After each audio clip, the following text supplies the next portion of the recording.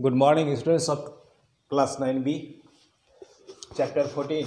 In geography, chapter 14, atmospheric pressure and winds is continue. In the last video class, we have completed permanent wind. In that permanent wind, you saw the explanation of trade winds, westerlies, and polar winds. Now, in this video class, we will discuss the periodic winds. The main concept is there are different types of winds.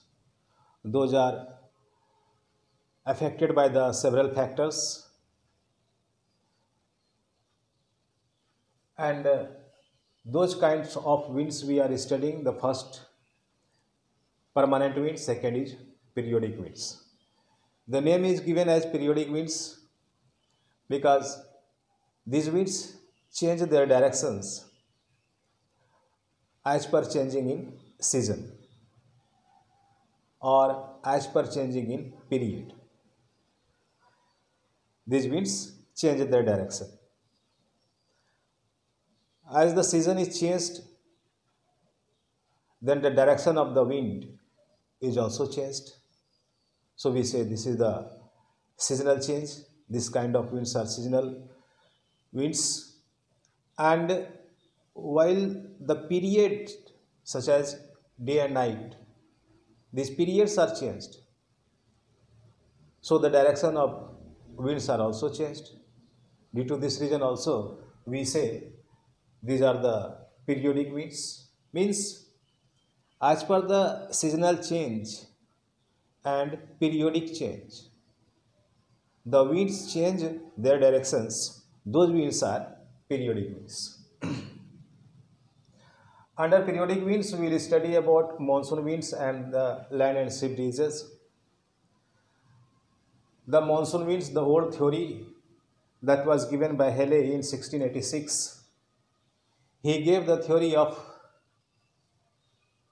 change in rate of heating difference in rate of heating.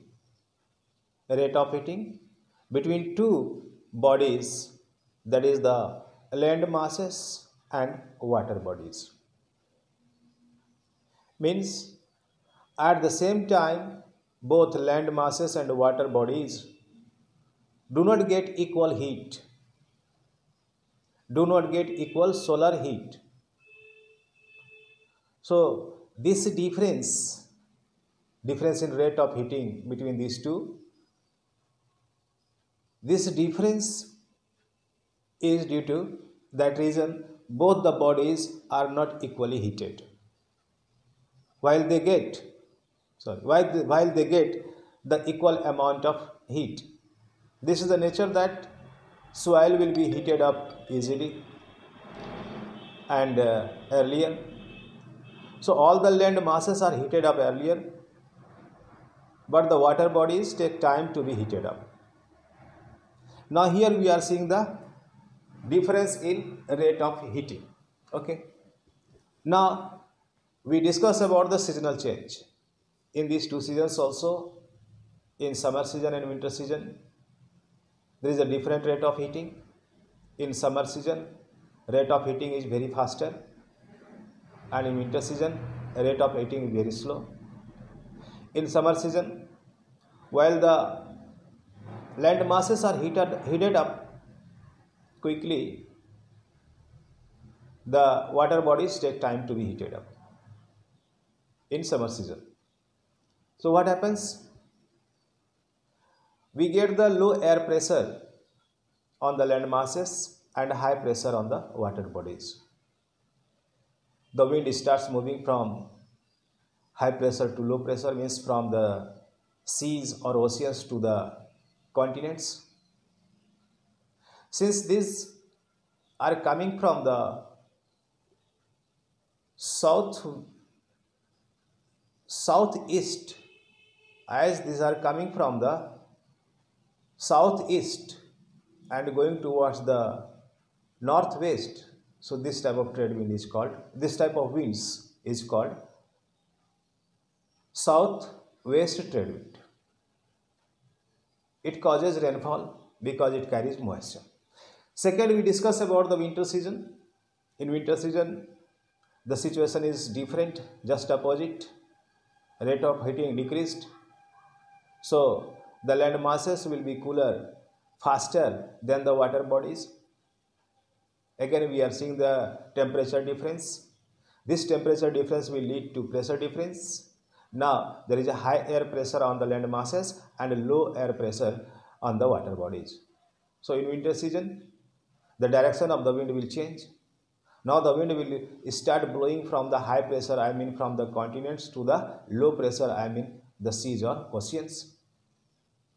So in these two particular seasons, in summer season and winter season, we are seeing the change in direction of the winds. This theory was given by Halley in 1686. But now,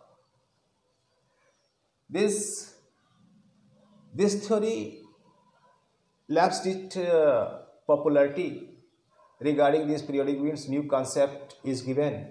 This new concept is based on two factors location and direction of the mountain ranges and second is condition of air circulation in the upper layer of the atmosphere that is the jet stream. So out of these two main factor is this condition of air circulation in the upper layer of the atmosphere that is the jet stream theory. This is the new concept. Okay. In the next part of this we will discuss about the uh, this theory jet stream theory and a little introduction we get of the land and sea breezes. During daytime and at night, the rate of heating is different because the sun remains present in the sky during daytime. So the, the earth receives uh, uh, more heat, solar heat. Uh, so the earth is heated up during daytime and uh, uh, water body those are seas or oceans remain cold so during daytime what is happening above the coastal region there is a low pressure and above the seas or oceans there is high pressure so wind will start blowing from high pressure to low pressure i mean from the seas or oceans to the coastal regions since the winds are coming from the seas or oceans to the coastal region Therefore, this is called sea breezes. These are called sea breezes. And uh, it is coming from the cold region means a heavy pressure was there. So, the cold air is there. It is carrying cold air. And uh, due to this region, it uh, provides the pleasant environment on the coastal regions. This was the sea breezes. Now just opposite we think about the night. At night, now the sun is not in the sky the uh, heat absorbed by the earth is very less so there will be loss of heat at night.